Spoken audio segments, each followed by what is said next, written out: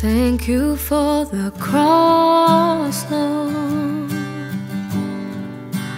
Thank you for the price you paid, bearing all my sin and shame. In love, you came and gave amazing grace.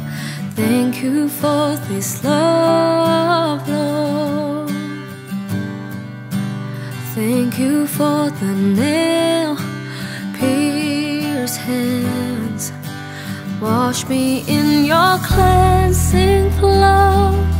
Now all I know, your forgiveness